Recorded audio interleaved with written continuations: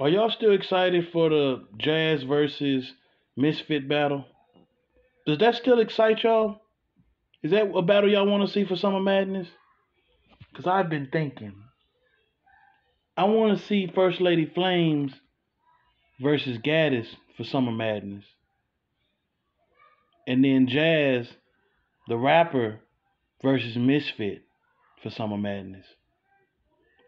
I think those two, those four girls on, on Summer Madness, I think that'll be it.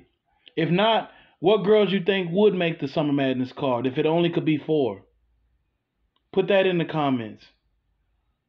Let me set this down so I can stop moving so much. What battle would you want to see if it could be four girls on Summer Madness? Oh, you can only pick four. Two matchups going against each other. I'm gonna say Gaddis versus First Lady Flames. I think that would be real good. And then let's bring Jazz back, see what she got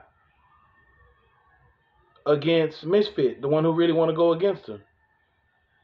Fuck all that money and all that. You know, this summer madness, you gonna get a bag. So, I mean, that'll tell who's scared or not, man. I don't know what else to say. If you don't want to battle on Summer Madness against an op of yours, somebody who you really want to go against, you got all this time to write for him. How long has it been? A year and a half? Two years? This been brewing up for. How long ago was that when official went against Jazz? I mean, official went against Misfit. I know she writing way in. You know what I'm saying? Jazz ain't stupid. She was writing after that battle for Misfit in case it happened.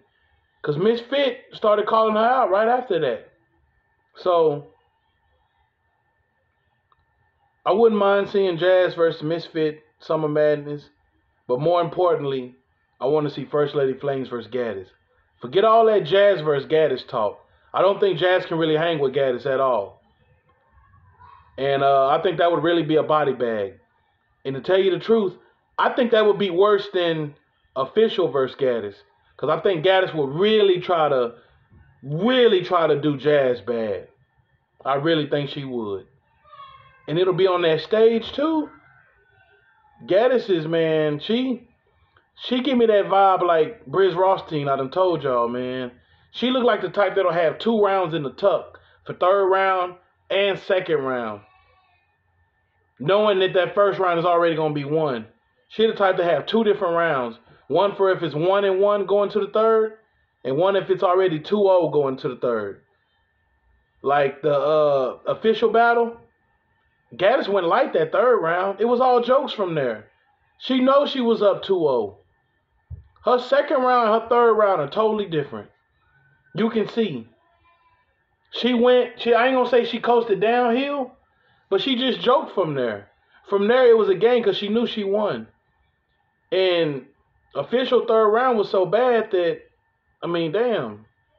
She didn't have to do much. Jazz, you gonna have to write for this girl. She not playing. I think she would come twice as hard against Jazz than she did against official. That's just me. But just a little something I was thinking about. Remember, if you got a card that you think sounds a little better with four females for Summer Madness, put it down there. I want to see it.